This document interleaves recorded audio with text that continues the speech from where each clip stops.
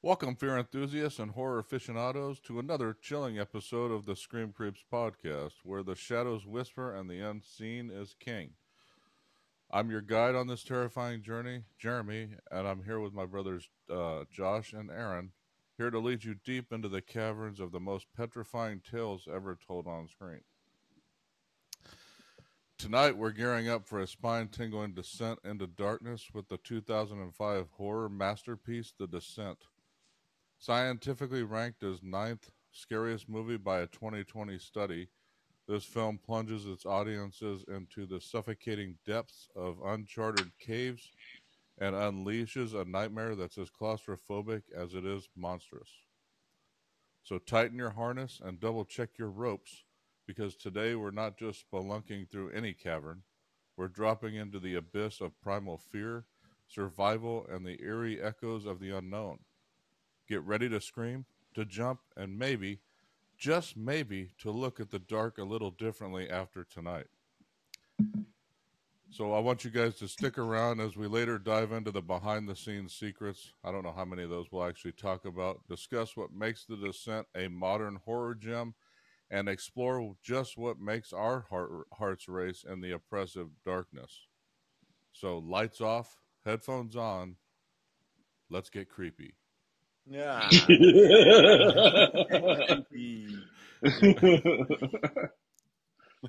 So, so as I said, uh, the movie's a 2005 film, but it's a British horror film, and it was written and directed by Neil Marshall.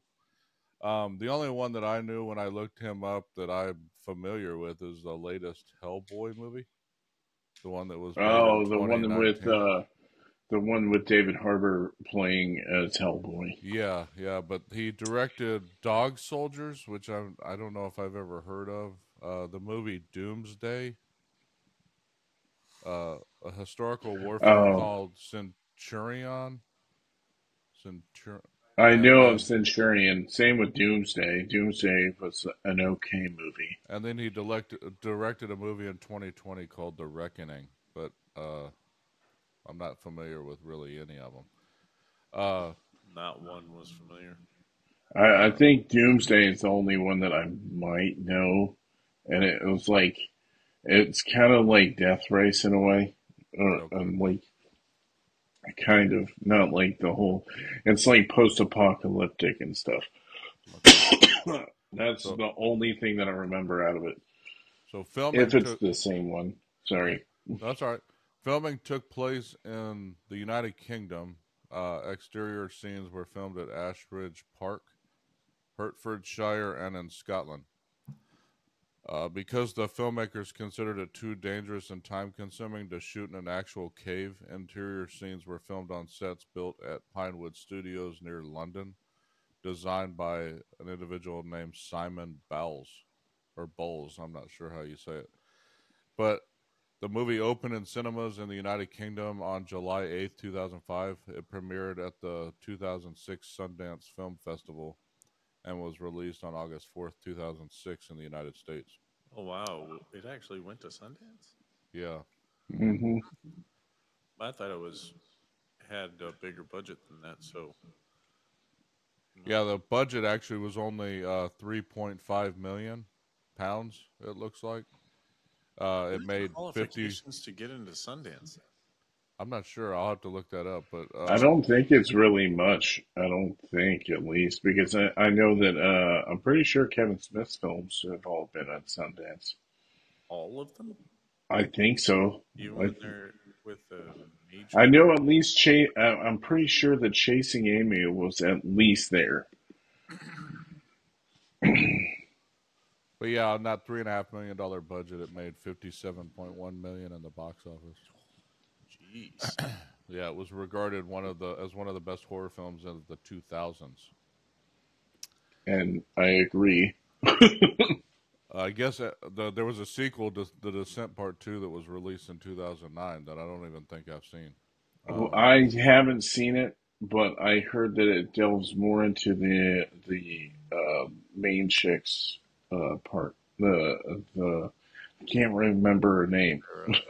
Sarah. Okay, yeah, it, it goes with her again too. So like it, it, I don't think the whole story focuses on her, but like I know she's in it at least. So wait, you I don't know if it's the same person though. you haven't seen it?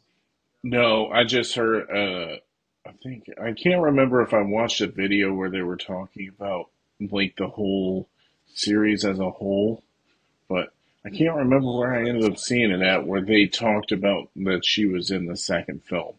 The least, one that played Sarah was in the second one. yeah, So she played the same character in it.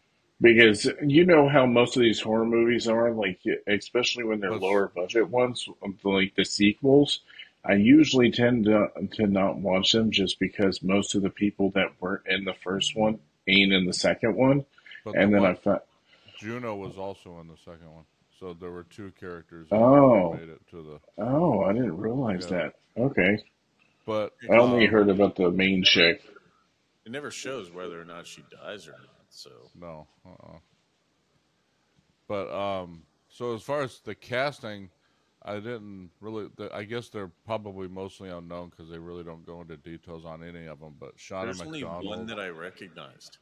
Only one. uh, yeah, Natalie Mendoza, Alex Reid, Saskia Mulder, MyAnna Buring, Nora Jane Noone, Oliver Milburn, and Molly Kayll. But uh, we were talking about Sarah and Juno, so that was Shauna Macdonald and Natalie Mendoza that played those characters. Um, I don't know. Shauna Macdonald is Scottish. She was in The Debt Collector. Um, That but- sounds familiar. My, but- Mayana Burning is the only one I recognize from the entire film. The one that Okay. played Sam. yeah. So, and do you all know what she's from? No. She's from Twilight, right? No, no. There's a new new show on Netflix The Witcher. called, uh, huh? She was in The Witcher also, but Oh, she was. Oh, in The really? Witcher too. But there's another Yeah. one on Netflix that she she's a part of. I, okay. I forgot what it's called though. Hold on. Uh, You're like, God, search it yeah, up. Yeah, it's not showing anything in in the uh, information. in on her. IMDb, but no, Yeah, it was. just- Uh, it's one about a whole bunch of. Uh, uh, not witches, but it's that women are casting spells and stuff like that. Maybe Hmm. it is The Witcher. Yeah, because she played. Well, I mean, it's probably The Witcher. Yeah. Freeze on The Witcher. Oh yeah, no, that's it. Oh, okay. It was The Witcher. yeah. See, uh, I'm surprised at how I didn't recognize that. But I mean, like so, uh, some people you don't like really focus on all that much because I don't remember seeing any of these people in anything else. Well, she was. Especially yeah, coming they're- back to it, they're like mostly- rewatching it. They're mostly British and Australian and other. You know, they're not. So they're not mainstream actors. That's why I was saying I didn't really point anybody out when talking about them. Oh, but even So, a lot of mainstream actors are actually English, and you don't realize it until later on. yeah, true. so, yeah, until they're off screen and they're talking in an interview or something. yeah, but this Um, had a lot of B movie elements to it, Yeah. and it just performed a lot better. Like it, it making fifty-one mil- million compared to other B movies, but it it definitely had that feeling of a B movie to me. Yeah. So with that, Jo- I guess we'll go ahead and get started and talk about what we thought about the movie. Um, so we'll start with, I guess, you, Josh. I think we last one Aaron started, but I don't really. Yeah, I don't know. Like all I know is that I've seen this movie several times, and I think that's um, like one reason why I liked the movie was how I am claustrophobic myself. So seeing in the situation that they're in, like going through a, like you find out that it's a whole unmapped uh, cave system that they that they went into like seeing that shit, I'd be like, nope, sorry, I'm not gonna fucking do this shit. Well, at the point that they find it out, Yeah, they Yeah, find it out like after they're already starting to get like deep into the cave system. like, so I'm like, I, I think I remember, I'm like, I think me and mom and dad watched this movie. I, I think, I'm pretty sure that we watched it. That's why I was surprised that nobody else watched it because I think they rented it one time when it first came out on video or whatever. So Yeah, I don't think I watched it because I remember a video game called The Descent, and then I thought, See- liked the video game, and I was like, eh. I Well, I mean, there's a, like a lot of games called like like the Descent or whatever. It's like uh, I know that there was a GameCube game, but it's it has Descent in the name, but it's not like the whole uh, name of the. I'm like I can't think of the name. It's like Eternal Darkness something Descent into Madness or something like that. I can't remember for sure, but like yeah, I can't remember. All I know is that it's funny too in this one was that they made two endings to the movie. Like as a side note, they uh yeah, they made two separate endings and then when they did the English version, it's different. Just because they thought like everybody that screened the movie in in the states said that it was too depressing, so they changed changed the ending to the movie. So if anybody's Well, watched what the hell? What was the original? the original one is that she falls asleep or like she as she's climbing. Does the whole thing where she's climbing sees the sun hit outside or like where she could see the sun. She goes through there gets up top. Pretty much the whole ending is the same. The only difference is when she sees Juno it wakes her up and then she's still in the cave. And then it starts up like where she you could see that it's huge in the place and then that's where it ends so two totally different uh, endings and they were like oh Yeah, it's funny because this goes back to what I was saying about. I think we were talking about the movie The Breakup and how on another podcast, I don't remember which one it was, where I was saying, you know, the movie's called The Breakup, so it was nice to actually see that at the end they actually broke up. yeah But in most of most movies, they don't. They always make them happy endings, and I think this kind of points to what they that they did that, and that I guess when they screened it, the ending was trimmed by a minute. What what Josh is talking about. So originally it was going to end where she escaped from the cave and saw Juno, but did not cut back to the cave. And, yeah and American viewers did not like that it was an uber hopeless finale. So they cut the, the final end off. yeah So yeah the, like- if you it's- get the dvd version of the movie you could still see the the alternate ending as you would say i guess on most yeah, dvds I guess the so you could still watch that but Yeah, I guess the marketing chief at the time said it's a visceral ride, and by the time you get to the ending, you're drained. So, and he Well, said Yeah. that I the director had a number of endings in mind when he shot the film, so he was open to making a switch. Um, and he the guy and Marshall, the director, compared the change to the ending of Chain Texas Chainsaw Massacre, saying just because she gets away does that make it a happy ending? So it's like, you know, he was kind of pointing to to that and uh, making Mhm. that change. But but yeah, like Josh said, it's featured on as the unrated cut on the DVD. Um, let's see. Did I talk about the filming? Yeah, just that it was shot in the United Kingdom and some were uh, Mm. exterior scenes Yeah, were you, filmed in you talked about Scotland. Yeah, and the set was like it's kind of crazy how they made all the the sets too. Like and they and it, and everything looked pretty realistic for being in a cave system, even though there was a, Well, a set. yeah, Simon. But I mean, I would understand why they dark wouldn't do that. he designed Yeah. the the It was all maze of the dark. cave. It's probably not the aesthetic. Yeah, You know what I mean? So there were 21 cave sets that were Yeah. built by a guy named Rod Vass and his company Armadillo Limited. and they used a unique system of polyurethane sprayed rock.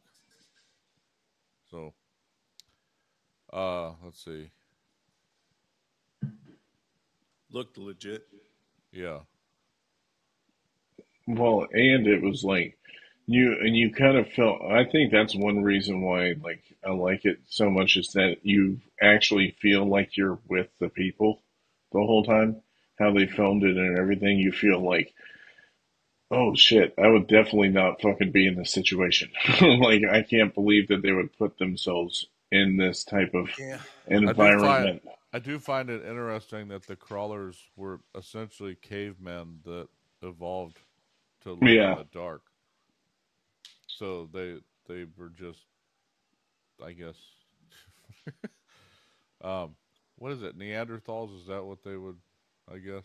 be called? Yeah, And or uh, something kind of like it. Neanderthal. Well, I mean, is that what cavemen evolved to? Was Neanderthal, and then what we are now? Because it's basically like Neanderthals were the guys that kind of bent over when they walked and stuff, right? And were kind of bigger in Honestly, terms of. I don't know. I couldn't tell you. Yeah, I just know. Well, genetically, we've got a high disposition of Neanderthal compared they'd be to like our others. distant cousin or some shit. Yeah. Well, I know that's when I did the essentially, 20 I, I yeah. felt like the creatures they were trying to make like it was vampire esque, like cannibal Yeah. humans that were. Well, it was another one where they couldn't see anything, so they had to almost go by hearing, almost like what we're getting ready to talk about in a couple other podcasts again when we do uh, talk about a quiet place too. mhm. There's been a lot of movies we've been watching lately that um, they can't really see very well, so they uh, re- uh, base everything on what they're hearing. Um, Yeah, so, um, but yeah, it's the movie was crazy. I mean, I liked it just because it was something offset different than. What Oh yeah, because you said that this is, and you said that this was your first time watching it, right? First time I in a while. I think I had seen Oh, it a long time ago, but the problem is, is when you know this movie is 18 years old or 17 years old. So Yeah. The last time I saw it may have been 17 years ago. So Yeah, I'm sure did that. I remember it all that much? No.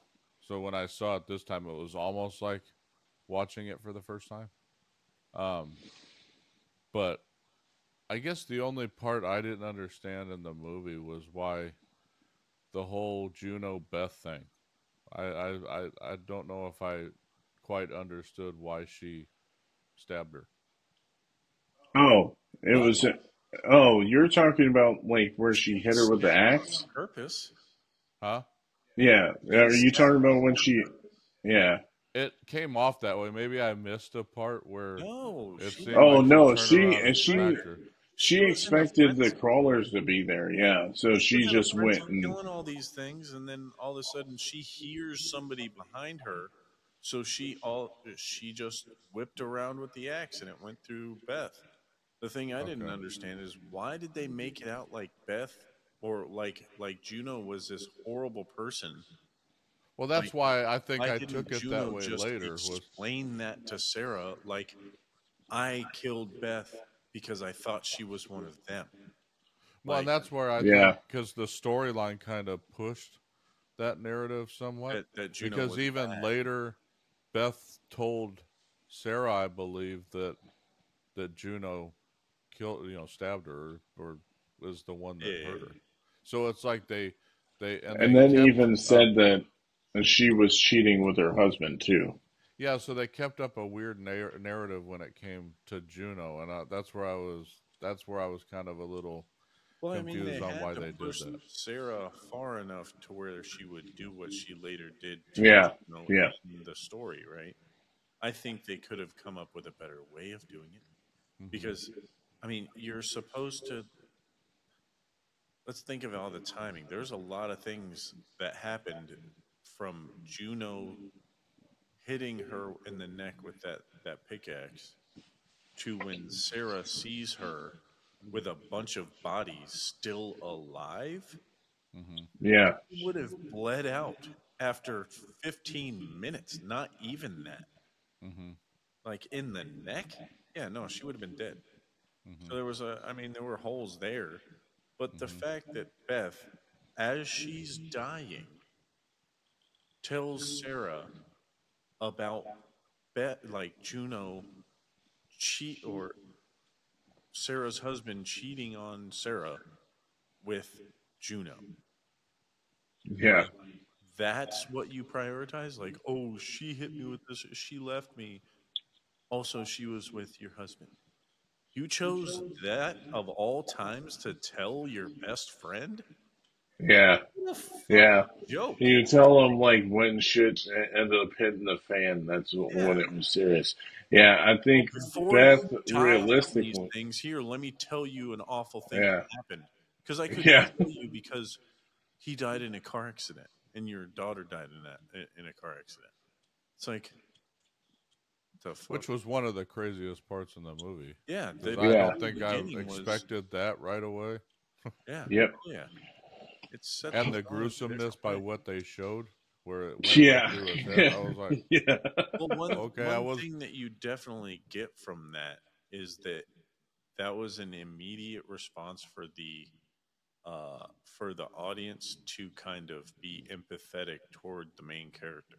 hmm 'Cause Yeah. that happens to her, and they're like traumatic event, and then all the friends are trying to help her and stuff like that, and then you're automatically connected to her because you went through this traumatizing thing with her in that moment. Yeah. And it's been a year. Let's go explore caves. Yeah, like, like it's like you know what's going to help me explore some caves. Uh, but weren't they Like, thrill oh, seekers though? I mean, they kind of alluded. I to the understand fact that, that, this is they were did, j- so it thrill like- seekers, but I, I Oh, mean, they- I'm just saying, like,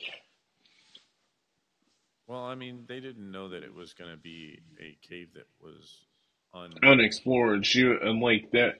I think they were just showing that Juno kind of made a bunch of wrong decisions. Like she did not uh, with her boyfriend or husband or whatever, and then stabbed Beth, and then just ditched her too. But I mean, also at the same time, like in your certain circumstance, like anybody in that situation, they uh, they would have probably done the same thing if you're trying to like save your neck. Like a lot of people would try to do that anyway. Either that or you would end up dead too. Huh? What What would they do? Like, I mean, uh, like a lot of people in that circumstance probably, like, uh, especially if a bunch of things are coming at you, you don't know that it's somebody friendly behind you. They ain't saying nothing, and you just like hit Oh, them. You're You're And then on top of it, if you're if you already know that you stabbed her, what else are you supposed to do? You would end up in, uh, running anyway.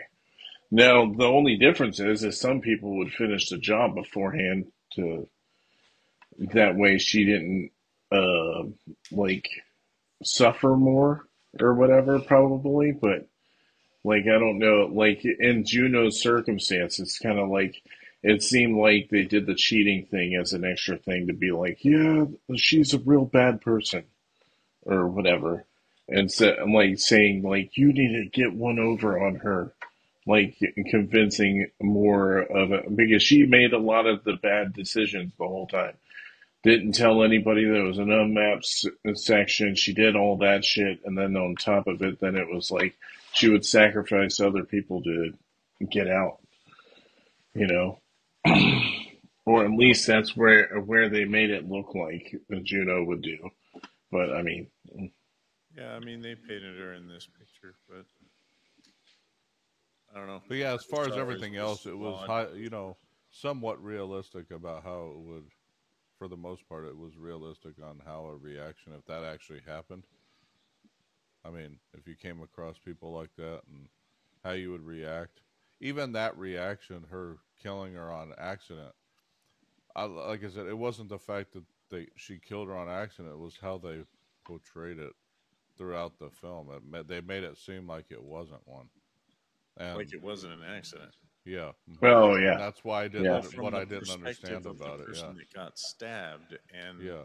and Sarah.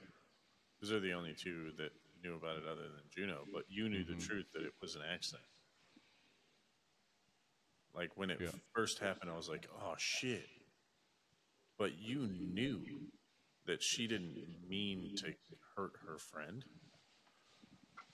Well, I mean, that's where I was saying the, the they didn't make it out that way because it's not like when she stabbed her, she reacted like, "Oh shit!" She actually just cruised, like she. Yeah. So Yeah. that's why I was saying there was no like, if I hit somebody, I'd look at him and go, "Oh fuck," or That You know, uh, I'm sorry, was- but that Yeah. is the look she had on her face. I didn't. Yeah. I didn't She recall Yeah. seeing opened that her look. mouth, and tears immediately started. her- Like So maybe I eyes started just welling up, am- and she started crying. And maybe I'm just not remembering that part when I watched it. 'Cause I watched it, what, two weeks ago? I think Yeah. you may have seen it more recently than me.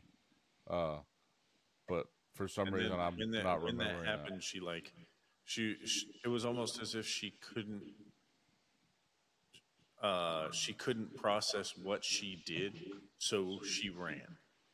Okay. Yeah. Well, maybe I Yeah. just missed that whole.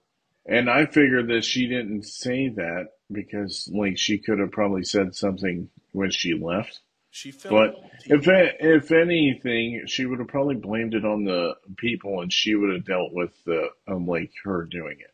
Like she probably wouldn't have told anybody that it was her that did it. I mean, I would assume that, but she should have told. yeah, yeah, I agree. Like yeah, she wouldn't have been in the same position with Sarah and shit if she would have said something. Lie about it. Yeah, Yeah, but you knew she would lie about it because she had been lying to Sarah about sleeping with her husband the whole time. Yeah, So I mean, she was essentially a liar. Mhm. I mean, yeah, she was a liar.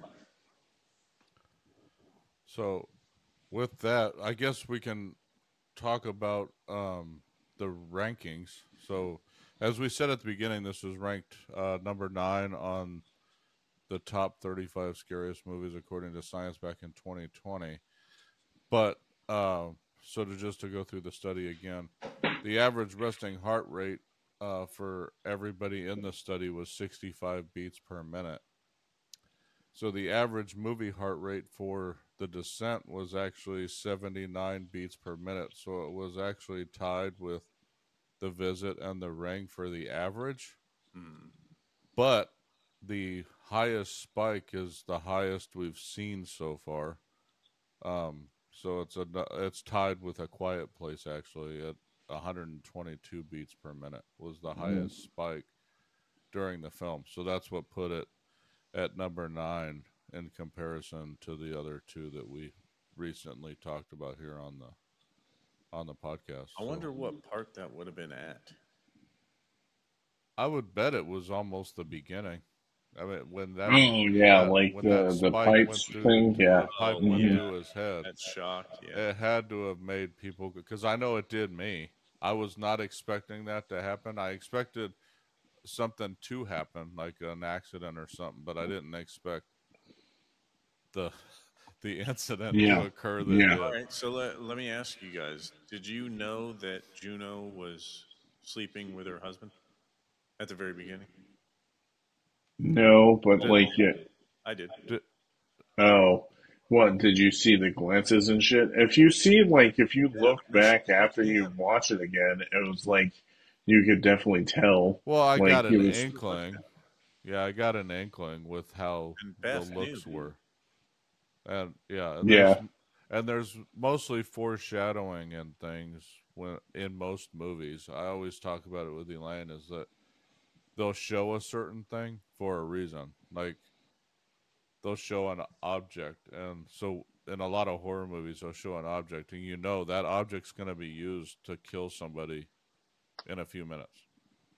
There's no reason to show the object just out of the blue uh, in a lot of these, and then sure enough, five minutes later, somebody used it, and so it's so if you pay attention close enough, you can pick up on a lot of things in in movies, but they kind of get you with the throwing 12 different things at you and hope you miss one. That way you're surprised later on.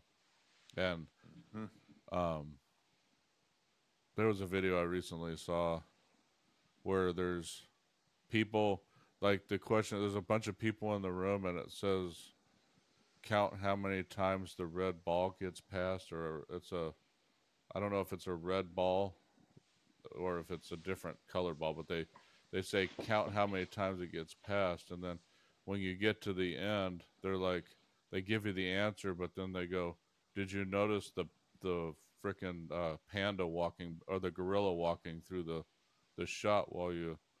And sure enough, in the middle of it, there's this freaking gorilla walking back and forth just through the whole group, and you don't notice that because your mind is Focus. To- on the b- yeah. focus on how many times the ball was thrown around. So you never notice the gorilla just walking through the shot. And so it's that kind of stuff that I'm referring to like with a horror movie. They they place these things hoping that you kind of Catch on to it. catch on to it, but you may miss it. So you're shocked later on when they reveal it.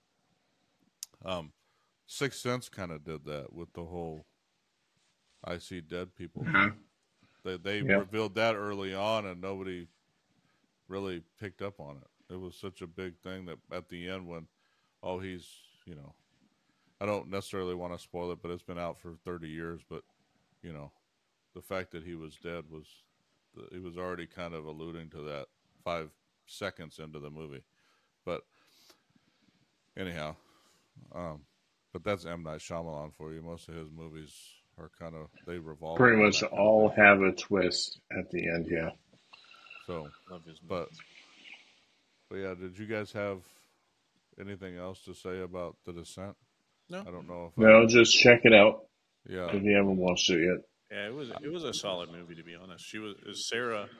I do have to say this. Sarah, by the end of the movie, with the exception of her attempted murder of her friend, friend, was an absolute badass. Mm-hmm. Yeah. She became the oh hell yeah, like I want this chick to just lay everybody out. That type of that type of chick. It was it was great. Her character got better once she was she went into full fuck it mode. And Yeah. Yeah. dude, it was awesome. I would say, all right, there was one scene in particular that this was the moment that things changed and I, I could sense it. Or not sense it, but I knew it was a change. When she came out of the blood Oh yeah. Yeah, that's probably one of my favorite scenes in the movie. It's like her That falling into it and coming out. everything Yeah. changed. hmm That's why I actually liked the the. It wasn't the whole.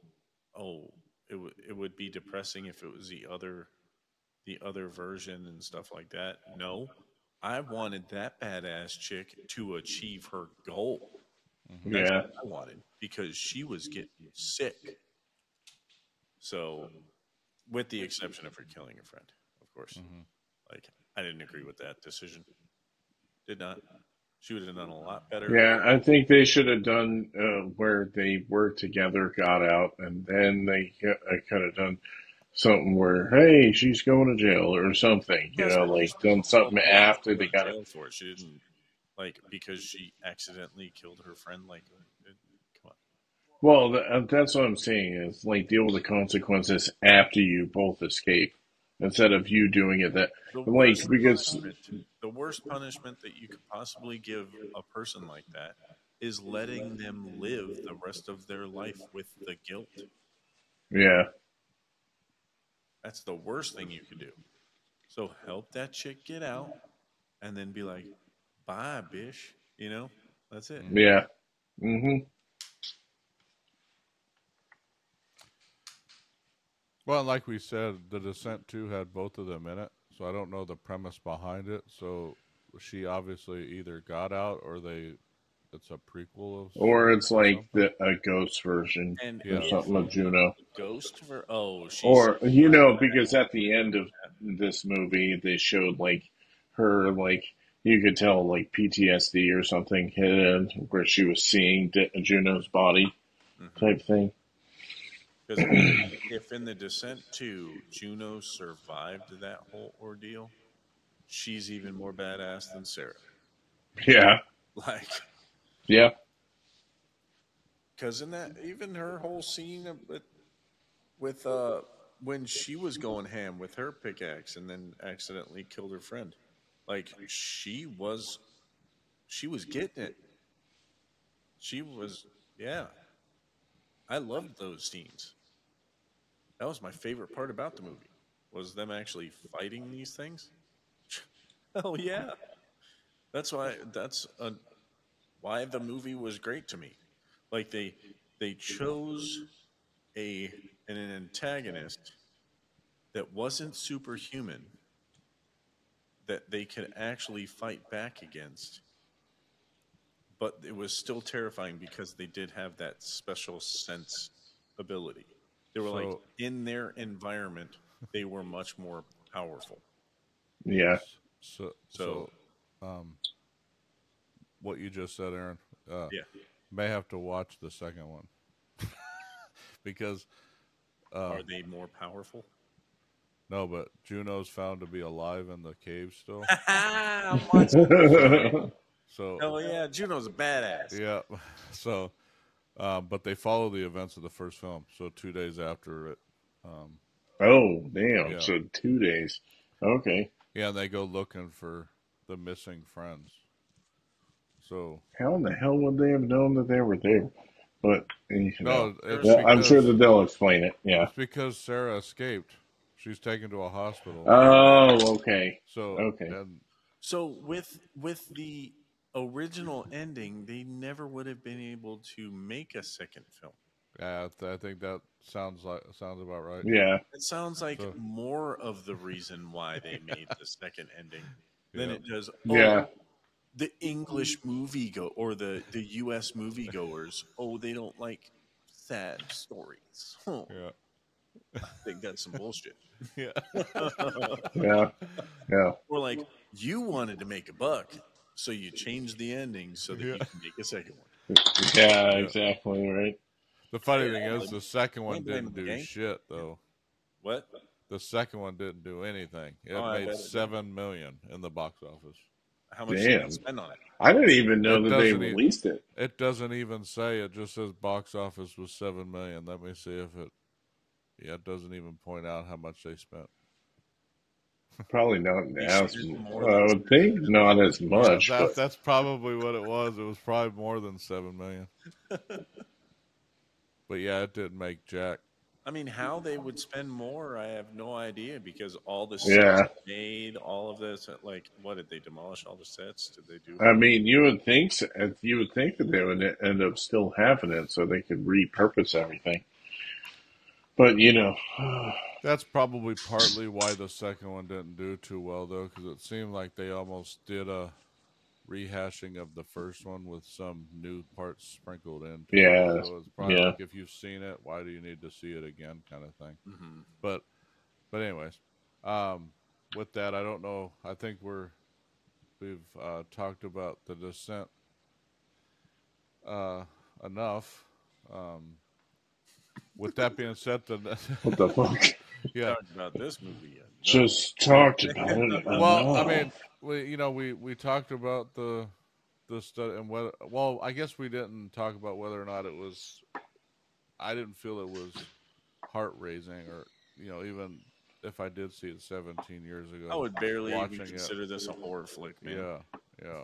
to be honest. Yeah, it's more like an action flick than, and like the only thing that's like horror related is knowing that it's like they're in the darkness the whole time, so you didn't see like them, and the claustrophobic nature of being in the cave system. I think really that's the scary part for certain people. Yeah. It's just knowing that your enemy could just be like coming out of nowhere. I don't know how they could have survived in that environment though, but because I don't see many people just going into that cave be like, "Hey guys, what's up?" Well, I'm kind of thrown when people decide to do what is it, the freehand cliff diving? What is it called? Where they're or freehand cle- uh, Oh, cliff yeah. climbing, where they don't have any ropes and they're climbing with just their hands and their feet, and they're Yeah. hanging off of it with just a. har- I'm I like, thought it was called like free hanging or something it's like that. I thought it was I- something like those that. people are nuts. I mean, I, Yeah. I mean, I don't know how. I mean, I think at one point their Tom own, Cruise was like, doing shit like that. fuck that. There ain't no way in hell. yeah, Exactly. yeah, hell Yeah. no. I mean, so um, everybody knows how risk averse I am. There ain't no way in hell I'd get even close to that. But but for um, the next episode, we'll be talking about the Babadook. So next week, that'll be number eight on the series. We're getting close to the end.